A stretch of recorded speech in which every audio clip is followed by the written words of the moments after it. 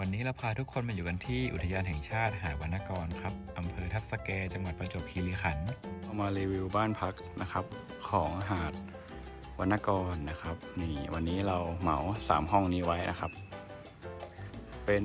บ้านเกาะจานนะครับ ทั้งแถบเนี่ยจะมีสี่ห้องนะครับ แต่มีแขกมาพักแล้วหนึ่งห้อง เราเหมาไว้สามห้องริมนี้นะครับ เดี๋ยวเราพาไปดูกันครับ สำหรับห้องนะครับ ราคาตัวนี้จะอยู่ที่คืนละ 700 บาท ถูกมากคุณ ทุกคน 700 บาท ได้ฟิลแบบติดริมทะเลเลยนะ แล้วก็อันนี้ผมมาในวันพักคืนพฤหัสกับเช้าวันศุกร์นะครับ ในใบราคาแล้วก็ในหน้า หน้าเว็บของอุทยานเนี่ยเขาจะ เขาจะระบุไว้ว่าคืนละ 1,000 บาท แล้วก็ลด 300 นะครับ ก็จะเหลือเพียงคืนละ 700 บาทนะครับ นี่นี่คุณแม่ก็กำลังจะใส่บิกินี่ไปลงเล่นครับ ภายในห้องก็จะมีแอร์นะครับ ทีวี ตู้เย็น ตู้เตียงพร้อมนะครับ จริง ๆ เนี่ย ผมว่าสามารถนอนได้ ถ้าอัดจริง ๆ นะ เตียงนี้สอง ข้างบนเนี่ยน่าจะไว้เตียง 6 ฟุตได้อีก 2 เตียงเลยนะ แต่ว่าเขาจำกัดแค่ห้องละ 2 ครับนี่ตู้เย็นมี แล้วก็ตู้เสื้อผ้ามีนะครับ ห้องน้ำเป็นไงนี่ถ้ามีเบรกเกอร์นี้มีน้ำอุ่นแน่นอนสบายใจได้นะครับมีน้ำอุ่นมีแยกโซนอาบน้ำโซนเปียกโซนแห้งนะครับอะห้องน้ำก็ไม่มีอะไรมากครับ ก็จะตามสภาพเลย แล้วทำไมมาม่าเราอากาศเย็นมากเลยไม่เปิดแอร์หรอ เรื่องอะไรปะถูกเลยนี่ครับ เปิดมาเป็นไง โอ้โห คืนละเจ็ดร้อยบาทเปิดมาครับ เจอทะเลเจอชายหาดอย่างนี้เลยนะครับ นี่ เราก็เดินลงไปนะครับ หน้าห้องก็จะมีที่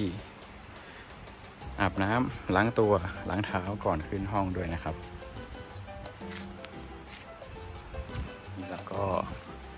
ทำการเซตชุดแคมปิ้งไว้แล้วสำหรับการทานอาหารมื้อเย็นนี้ครับ นี่เซตใกล้ๆไฟตรงนี้เลยนี่ มีไฟด้วย แล้วก็เลยอาศัยตรงเนี้ยเป็นสถานที่กินข้าวเย็นนี้เลย ในอุทยานเนี่ยเขามีด้านขวาเนี่ย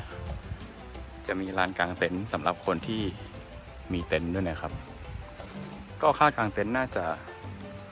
น่าจะถ้าจะไม่ผิดปีนั้นมาน่าจะสองสามร้อยมั้ง ต่อ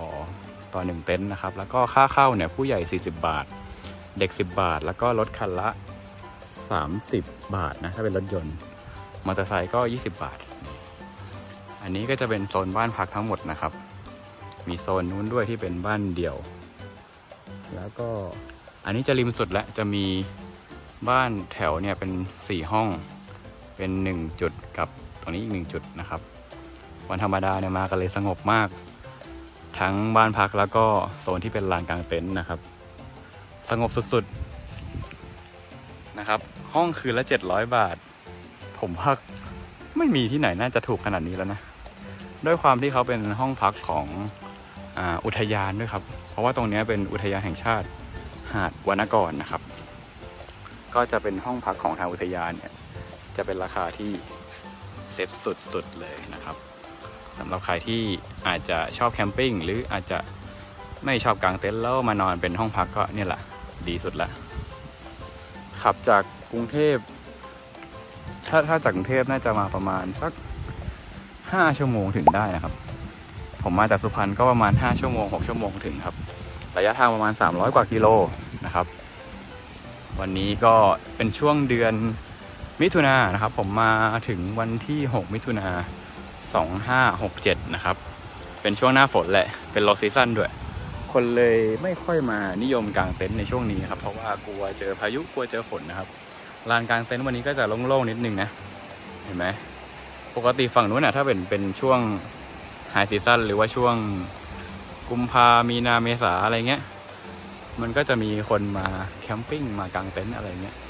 เยอะเต็มลาเลยนะครับ แต่วันเนี้ยรู้สึกจะบางบางเลยละบางตาเลย เห็นมีแค่ประมาณจุดละประมาณสองสามเต็นท์เองมั้งบางเต็นท์เราอยู่เหงาๆคนเดียวเลยนะ อยู่แบบเงียบๆคนเดียวเหงาๆเลยนะ เต็นท์เดียวโดดๆเลยนะ ก็เรียกว่าสงบเลยทีเดียวนะครับ แล้วทะเลที่เนี่ยโอ้โห เรียกว่าใสแจ๋วนะครับสำหรับคนที่ชอบเล่นน้ำทะเลที่แบบใสๆนี่ก็ทางนี้ เชิญได้เลยนะครับ ตรงนู้นนะครับ เห็นไกลๆหนูเป็นเกาะ น่าจะเป็นเกาะจานนะครับ เกาะจานตามชื่อบ้านพักของเราเลยนะครับ ซึ่งจะมีกิจกรรมดำน้ำด้วยถ้าเกิดใครมาในช่วงที่ไม่ใช่มรสุมหรืออะไรเนี่ย แต่ผมก็จะดูอีกทีหนึ่งว่าพรุ่งนี้ครับเราจะพร้อมขนาดไหนกับการไปดำน้ำนะครับ อาจจะไปหรือไม่ไปก็ได้นะครับ ในเกาะจานเนี่ยก็จะมีทริปดำน้ำแล้วก็สามารถโทรจองกับเบอร์ตามขอเบอร์ที่จุดบริการนักท่องเที่ยวได้นะครับ แต่ก็น่าเสียดายครับเราไม่ได้ไปในทริปดำน้ำนี่มานะครับ เท่าที่สอบถามนะครับาบริการจะอยู่ที่หัวละ 600 บาทครับ เรือรองรับได้ 15 คนนะครับ เวลาออกเรือเป็นช่วงเช้า8โมงครึ่งถึง 11 โมงครับ บรรยากาศ บรรยากาศค่อนข้างดีเลยครับ แต่ผมแนะนำใครที่ต้องการมากางเต็นท์เนี่ย แนะนำเป็นช่วงเดือนกุมภา นะ กุมภามกรากุมภาเนี่ย ต้นกุมภาเนี่ยจะเวิร์กที่สุดแล้ว เพราะว่าโซนนี้เนี่ยจะไม่ร้อนมาก แล้วก็จะมีลมทะเลเย็นๆพัดมาตลอดเวลาเลยนะครับ ส่วนช่วงนี้ก็อาจจะต้องดูฟ้าดูฝนนิดหนึ่งนะครับ เดือนมิถุนาแต่ผมโชคดีมาที่วันที่ฟ้าเปิดพอดีนะครับ แต่ก็ขับรถมาก็เจอฝนตามทางเยอะแหละ แต่ว่าตอนนี้ก็ฟ้าเปิดแล้ว อาจจะพาลูกๆ ครอบครัวมานั่งเล่นริมหาดได้นะครับ แล้วก็คืนนี้ก็ถ้าไม่มีอะไรผิดพลาด ถ้าไม่มีฝนตกก็อาจจะนั่งนะครับรับประทานอาหารกันหน้าบ้านชิวๆตรงนั้นได้เลยนะครับ เป็นไง ตามมาได้ครับสำหรับใครที่ชอบมาเที่ยวทะเลกันแบบครอบครัวนะครับ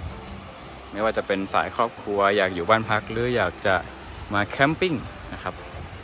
พาเด็กๆกับคนในครอบครัวมาเที่ยวกันได้ครับ หาด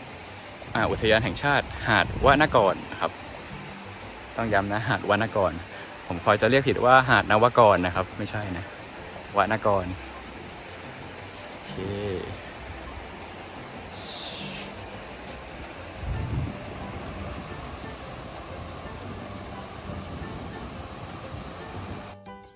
เมื่อเข้ามาถึงตัวหาดนะครับเลี้ยวขวามันจะเจอจุดบริการนักท่องเที่ยวของอุทยานแห่งชาตินะครับ สามารถติดต่อบ้านพัก เช็คอิน จ่ายค่าลานกางเต็นท์หรือว่าเช่าจักรยานหรือว่าสอบถามข้อมูลที่นี่ได้เลยครับ การจองที่พักเนี่ยสามารถเข้าไปที่เว็บอุทยานแห่งชาตินะครับ แล้วก็ search ข้อมูลของหาดวรรณกร แล้วก็เลือกห้องพักตามที่เราต้องการได้เลยครับ เมื่อจองออนไลน์เรียบร้อย จ่ายเงินเรียบร้อยก็สามารถนำหลักฐานมายื่นในวันที่เข้าพักได้เลยครับ บริเวณหน้าหาดติดกับลานกลางเต็นท์แล้วก็ติดกับจุดบริการนักท่องเที่ยวนะครับ จะมีร้านค้าสวัสดิการให้บริการอยู่ครับ มีทั้งเครื่องดื่มอาหารรสชาติอร่อย แล้วก็ที่สำคัญราคาไม่แพงด้วยครับ ถัดมาใกล้ ๆ กันก็จะมีคาเฟ่อยู่ริมหาดให้เราได้ใช้บริการด้วยครับทริปหน้าเราจะพาไปชมที่ไหนฝากติดตามฝากกดไลค์กดแชร์กด Subscribe กันไว้ด้วยนะครับ